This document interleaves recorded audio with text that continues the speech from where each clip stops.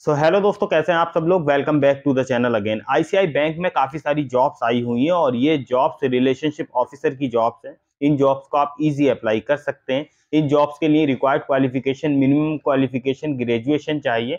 Maximum जो चाहिए वो एज पर द डेजिग्नेशन होनी चाहिए।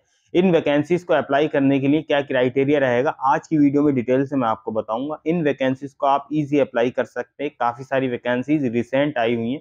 तो चलिए वीडियो को शुरू करते हैं। शुरू करने से पहले एक आपकी सपोर्ट चाहिए। लाइक सब्सक्राइब बेल आइकन का बटन दबाना ना भूलिएगा। और अगर आप ना है तो चैनल को चेकआउट भी कर सकते हैं। तो चलिए वीडियो को शुरू करते हैं।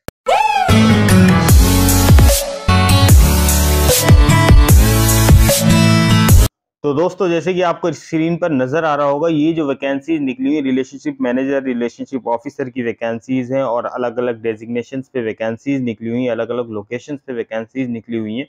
और जैसे कि आपको नज़र आ रहा होगा, चार दिन पहले ही रिलेशनशिप मैनेजर की वैकेंसी निकली हुई थी भुवनेश्वर, उड़ीसा, कटक के अंदर। और ऐसे ही अब नीचे स्क्रॉल डाउन करूँगा, फरीदाबाद, हरियाणा के अंदर वैकेंसी है। रिलेशनशिप मैनेजर की वैकेंसी है, उदयपुर के अंदर वैकेंसीज हैं, और भी काफ़ी सारी वैकेंसीज हैं, जैसे ही मैं स्क्रॉल डाउन नीचे करते जाऊँगा अलग अलग कैटेगरी में अलग अलग डेजिग्नेशन में अलग अलग क्वालिफिकेशंस के लिए वैकेंसीज हैं। प्रोबेशनर ऑफिसर की वैकेंसी है, इसी तरीके से और भी वैकेंसी ई रिलेशनशिप मैनेजर की वैकेंसी निकली हुई है।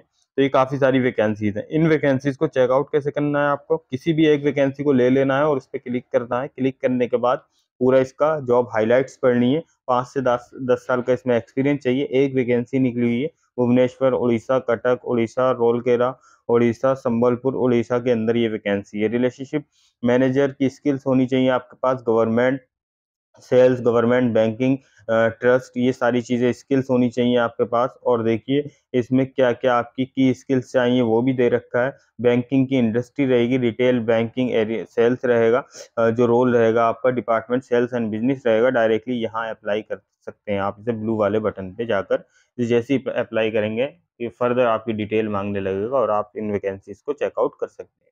किसी सपोर्ट की ज़रूरत पड़े, आप मुझे कमेंट बॉक्स में लिख सकते हैं। इन वैकेंसीज को अप्लाई करने के लिए लिंक डिस्क्रिप्शन में पड़ी हुई है। वहाँ से जाके इन वैकेंसीज को चेकआउट कर सकते हैं। इन वैकेंसीज को चेकआउट करने के लिए उससे पहले आपको इसका जॉब डिस्क्रिप्शन इसका क्राइटेरिया पूरा पढ़ लेना होगा। उसके बाद ही इन वैकेंसीज को अप्लाई कीजिएगा। किसी सपोर्ट की ज़रूरत पड़े कॉमेंट बॉक्स में अपना सवाल छोड़ सकते हैं। Thank you very much